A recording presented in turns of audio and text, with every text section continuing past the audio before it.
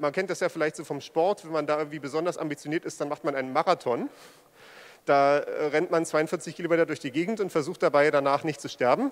Äh, ich könnte das wahrscheinlich mit meiner Konstitution nicht so erreichen, aber gut, äh, ich bin nicht so die Sportskanone.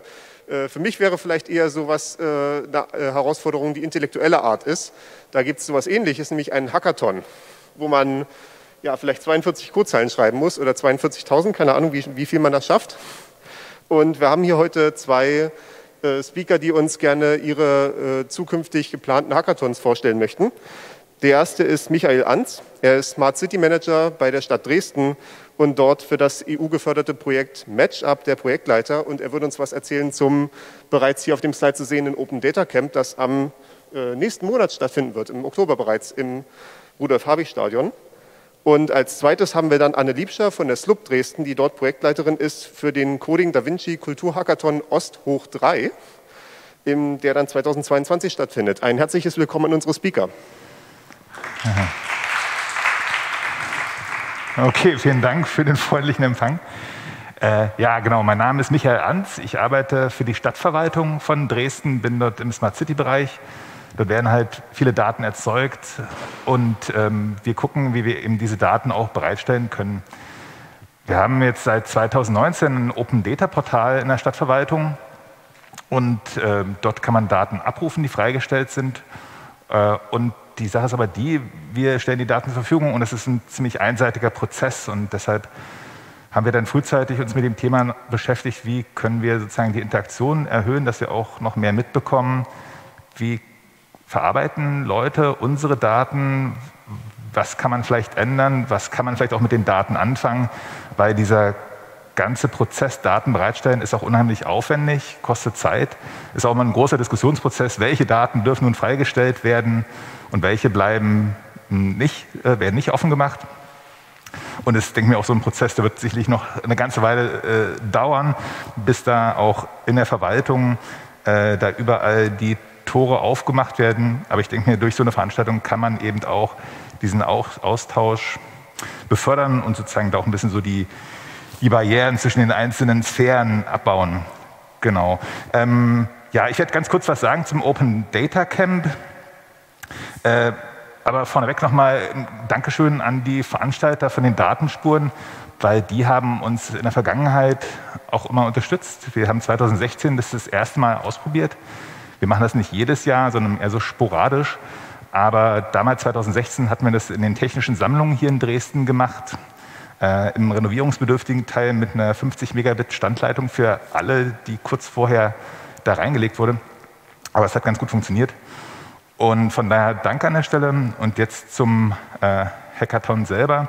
Das Ziel ist, wie gesagt, einfach äh, die Teilnehmer zum Austausch miteinander bringen, Ideen entwickeln zu lassen, zu gucken, wie man mit den Daten arbeiten kann, was man mit den Daten anfangen kann, die wir bereitstellen.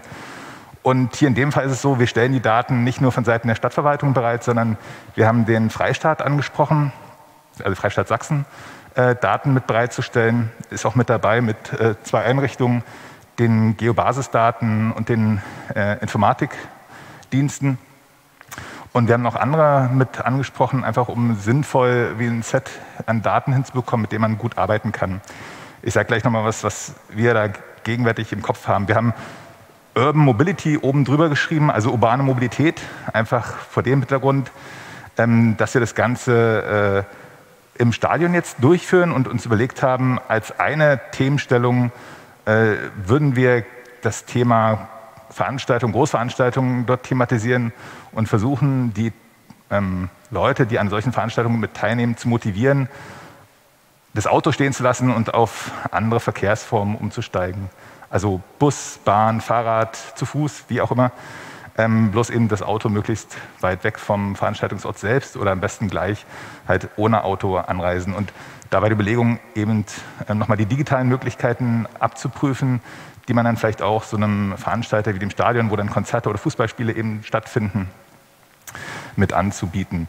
Ähm, daneben gibt es natürlich immer die Möglichkeit, auch eigene Vorschläge mit einzubringen. Äh, idealerweise diesmal unter dem Label urbane Mobilität. Wir haben auch Partner, die dann sich noch was überlegen. Also die SLUB ist dabei, die Unibibliothek hier in Dresden, die auch nachher noch das Coding Da Vinci vorstellen wird. Äh, bei denen waren wir das letzte Jahr, äh, vor zwei Jahren muss ich ja sagen, 2019, hatten dort den, das Open Data Camp durchgeführt im Makerspace der Universität, um, und um nur mal so eine Vorstellung zu geben, was dabei rauskommen kann, ähm, ist halt äh, viel, dort war es halt so gewesen, jetzt speziell für die SLUP wurde im Makerspace eben was entwickelt, wo die Daten vom, ähm, von der Staatsbehörde für Geobasisdateninformationen genommen wurden, also Landschaftsmodelle und äh, Luftbilder. Äh, die wurden miteinander verschnitten und wurde für den Makerspace, für die 3D-Drucker dort ein Prozess entwickelt, mit dem man eben dann ähm, 3D-Modelle von bestimmten Landschaften in Sachsenland eben drucken kann. Das fand ganz gut Widerhall, ist auch mehrfach jetzt schon genutzt worden. Das ist bloß sozusagen mal ein Beispiel.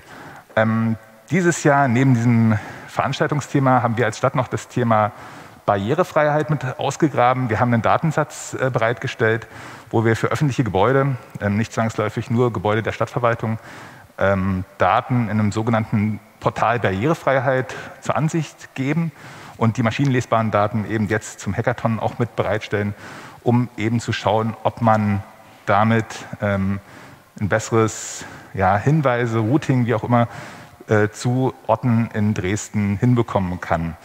Wir haben deshalb auch die Deutsche Bahn zum Beispiel mit angesprochen, weil die eben Fahrstuhldaten mit bereithält.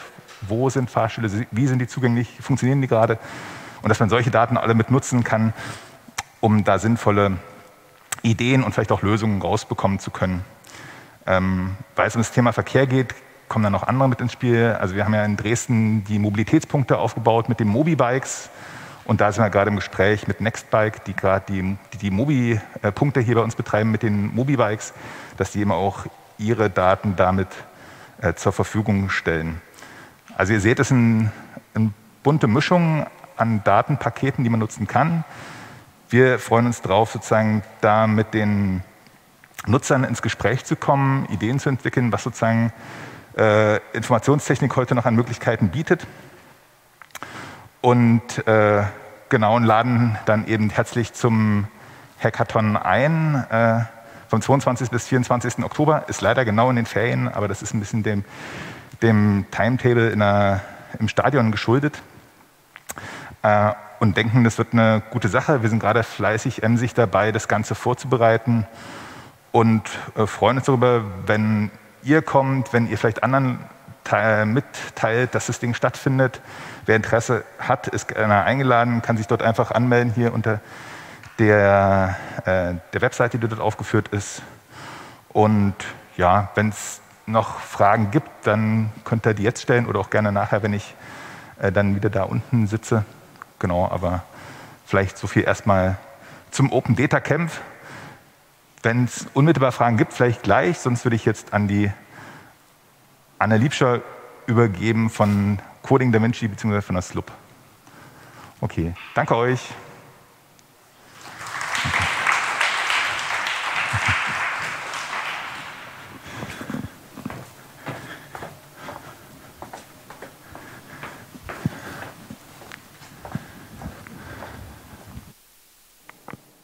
Ja, hallo auch von mir. Äh, vielen Dank für äh, die Möglichkeit, hier auch äh, den Coding Da Vinci Kulturhackathon vorstellen zu können.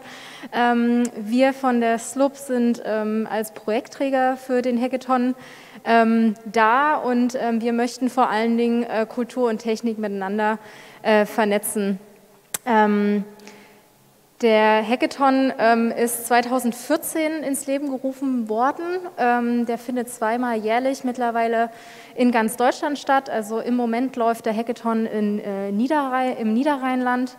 Ähm, und das Ziel des Ganzen ist, ähm, dass wir Kultureinrichtungen dazu bringen möchten, ähm, ihre Daten, ähm, also bereits äh, digitalisierte Daten äh, zur Verfügung zu stellen oder sich den Ruck zu geben, äh, doch äh, noch äh, Sachen, die in Kellern lagern oder in Archiven äh, auch zu digitalisieren und die eben in, äh, einem neuen breiten Publikum zugänglich machen zu können. Ähm, das ist so die eine Sache. Und die zweite Sache, was wir gerne erreichen wollen mit diesem Hackathon, ist, ähm, eine zusammen oder stärkere Zusammenarbeit zwischen Einrichtungen in Polen, äh, Tschechien und Sachsen. Ähm, also wir äh, heißen Coding Da Vinci Ost hoch 3, weil wir im Dreiländereck ähm, tätig sein wollen, beziehungsweise ähm, Einrichtungen im, aus allen drei Ländern ansprechen wollen, damit sie ihre Daten zur Verfügung stellen.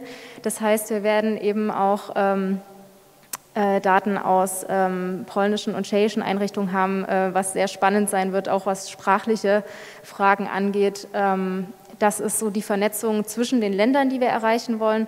Und dann wollen wir natürlich auch interdisziplinär vernetzen. Also wir haben ähm, die Datengeber, die äh, Kultureinrichtungen sind, ähm, dann haben wir natürlich die Programmierer, die Creative Tech-Szene. Wir haben Künstler und Designer, die wir dann ähm, mit ins Boot holen wollen. Wir haben Makerspaces, die wir einbeziehen wollen, sodass am Ende eine sehr, sehr breite Palette eigentlich an Ergebnissen dabei rauskommen kann. Ähm, genau, hiervon habe ich jetzt gerade schon einiges gesagt. Gerade noch mal gucken, ob ich irgendwas vergessen habe. Genau, also wir wollen eben eine Plattform äh, zur Vernetzung zur Verfügung stellen. Ähm, es wird zwei Events insgesamt geben. Ähm, den Zeitplan äh, zeige ich auch gleich noch. Äh, und wir wollen einfach einen Mehrwert schaffen. Wir wollen ähm, was Neues kreieren. Wir wollen ähm, besseres, was Besseres äh, schaffen, dass eben digitalisiertes Kulturerbe auch öffentlich zugänglich ist und sich auch junge Menschen ähm, oder für junge Menschen es einfach einen einfacheren Zugang gibt, die eben äh, schneller das Smartphone mal in der Hand haben, ähm, als jetzt vielleicht ins Museum zu gehen. Genau, das sind unsere Projektpartner. Ähm, wir äh, freuen uns eben auch, den Chaos Computer Club als Projektpartner ähm, gewinnen zu können oder gewinnen, dass wir ihn gewinnen konnten äh, für das Projekt. Wir haben verschiedene Partner direkt in Dresden, aber auch in ganz Sachsen. Wir haben ähm, äh, den Maker, der Makerspace, der Slup wird natürlich äh, auch involviert werden und arbeiten auch mit Make More in Prag zusammen zum Beispiel. Also wir haben noch einen Makerspace äh, dort ähm, äh, begeistern können für das Projekt und ähm, gerade auch ganz, ganz intensiv mit der Universität in Wrocław. Ähm, also äh, ich glaube, es wird äh, wirklich drei- oder trinational ähm, gelingen, dieses Projekt. Ich glaube, die äh, Einrichtungen sind da auch sehr motiviert, das Ganze voranzubringen. Genau, und die Einrichtungen werden auch ihre Datensets dann ähm, zur Verfügung stellen, bis auf natürlich die Makerspaces oder diejenigen, die eher so auf der Teilnehmenakquise auf dieser Ebene ähm, dabei sind. Genau, das so ist der, äh, der Ablaufplan. Also wir sind jetzt, ähm, haben eigentlich jetzt diese ähm, die Einwerbung von GLAMS steht hier, also von den Galerien, ähm, Bibliotheken, Archiven und Museen äh, in den drei Ländern so gut wie abgeschlossen. Also die, äh, die Anmeldungen laufen jetzt gerade noch. Ähm, also die äh, bis, bis zum 21.09. bis nächste Woche können sich noch Einrichtungen für eine Informationsveranstaltung am 29.09. bei uns anmelden.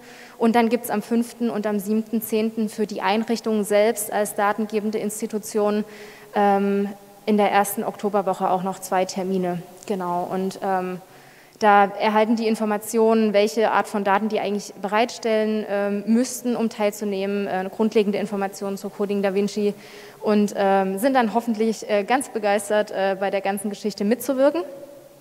Im Oktober und November äh, folgt dann die Phase dass wir Anmeldungen entgegennehmen ähm, von Teilnehmenden. Ähm, da bin ich jetzt sogar ein bisschen früh hier, weil wir haben noch September ähm, und haben daher äh, auch noch gar keine Möglichkeit auf der Internetseite, dass man sich als Teilnehmender anmelden kann. Das kommt aber noch. Also wir arbeiten daran, dass das spätestens auch ab Oktober dann möglich sein wird, dass man sich bei Interesse natürlich ganz fleißig bei uns auch anmelden kann.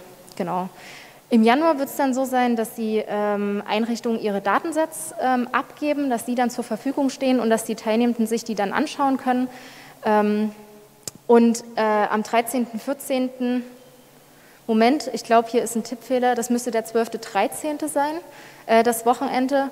Ähm, da wird das große Kick-Off-Event stattfinden, wo zum ersten Mal alle zusammenkommen. Also es kommen die Vertreter der Kultureinrichtungen, der Museen, Archive, Bibliotheken und Galerien zusammen, ähm, stellen äh, in einem One-Minute-Madness-Format ihre Datensätze vor. Ähm, und dort können sich eben die Teilnehmenden, die Programmierer, Coder, ähm, die Create Leute aus der Creative Text-Szene, die Designer, die ähm, Künstler, die dann anwesend sind, Leute aus Makerspaces, äh, können sich dann eben anschauen, okay, diese Datensätze gibt es und ähm, äh, weitere Informationen bekommen ähm, im Detail dann zu diesen Datensätzen.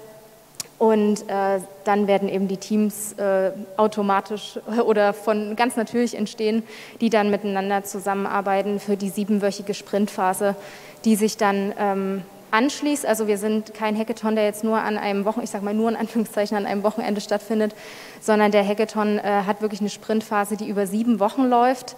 Ähm, wo am Ende äh, eine Preisverleihung steht für die besten Anwendungen, äh, die dann entstanden sind, beziehungsweise ähm, laufende Prototypen sollten das dann eigentlich sein. Ähm, genau, und äh, damit wird der Hackathon dann auch abgeschlossen im April.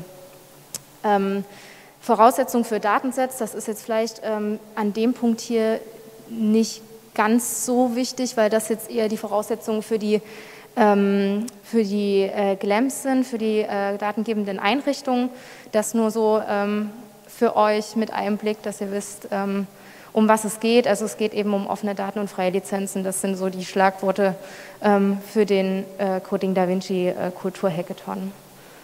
Genau, Beispielprojekte habe ich nur kurz zwei. Ähm, eins zum Beispiel äh, hier vom Rhein-Main 2018 da wurden ähm, Digitalisate ähm, eines Museums in Frankfurt genommen und äh, man, konnte, ähm, es, äh, man konnte zufällig neue Gesichter entstehen lassen durch ähm, dieses, ja, wie nennt man das, ähm, Zufallsprinzip.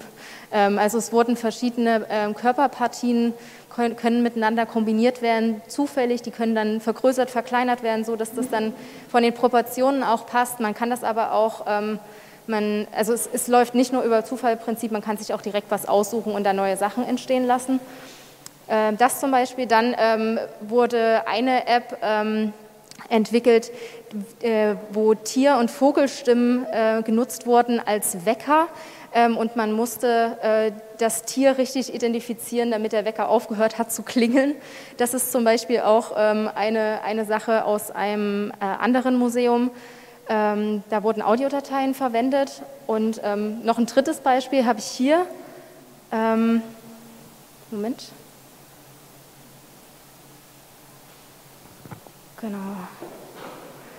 Ähm, da wurden von äh, verschiedenen Einrichtungen wurde eine Art äh, Kleiderkreisel oder Vinted, wie es jetzt heißt, ähm, äh, Insta nee, Facebook und Instagram, glaube ich, die drei ähm, Apps wurden so mit äh, Daten besetzt, als würde es diese Apps im Jahr ähm, 1900 38, 39 geben. Also man hat aus verschiedenen ähm, Museen und Archiven äh, Daten äh, da eingebunden und das würde ich ganz kurz äh, zeigen.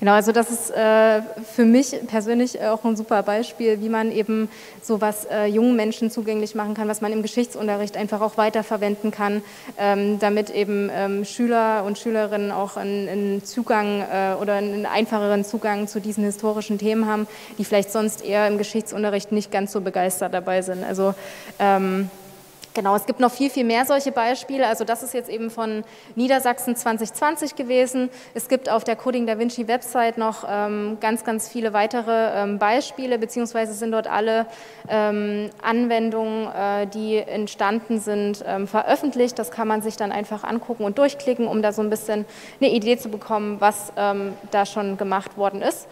Genau, und ähm, Interesse, also ähm, wer äh, Lust hat, ähm, dabei zu sein, ähm, mitzucoden, ähm, kreativ zu sein beim Coding Da Vinci Kultur Hackathon, ähm, der kann sich gerne bei mir einfach per E-Mail melden, also äh, gerne auch bei Nachfragen. Ähm, einfach eine kurze E-Mail äh, an mich. Ich antworte gerne äh, zu allen Fragen, die äh, nicht technisch sind, aber die gebe ich gerne an meinen Kollegen weiter.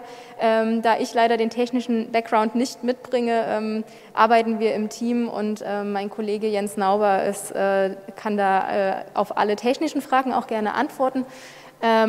Ähm, und im Oktober, November, wie gesagt, werden wir eine Anmeldeoption jetzt auch schaffen ähm, für die Website Coding Da Vinci, wo man ähm, unter den Events dann auch Coding Da Vinci Ost finden wird, was eben nächstes Jahr dann eine einmalige Veranstaltung bei uns im Dreiländereck ist. Und ja, ihr seid herzlich eingeladen, da dabei zu sein.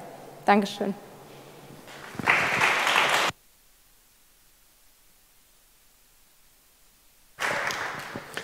Wir hätten jetzt noch Zeit für vielleicht eine Frage, wenn jemand im Publikum noch eine Frage stellen möchte. Das scheint jetzt gerade nicht der Fall zu sein. Auf jeden Fall möchte ich euch äh, auch von Seiten des CCC durchaus ermutigen, an solchen Projekten teilzunehmen. Äh, diese Synthese aus technischer Expertise und dem kulturellen Background ist ja genau das, was unser persönliches Ziel erfüllt, was wir als Verein haben, eben äh, diese technische Kompetenz nicht nur irgendwie in unseren eigenen äh, Hackerspaces zu kultivieren, sondern auch in die Gesellschaft rauszutragen und der Gesellschaft dabei zu helfen, zu verstehen, was die Konsequenzen von dieser Technik sind und wie man damit vielleicht tatsächlich ein besseres Leben erreichen kann und nicht nur eine äh, äh schnellere Slotmaschine wie Instagram. Von daher vielen Dank, äh, Anne, vielen Dank, Michael.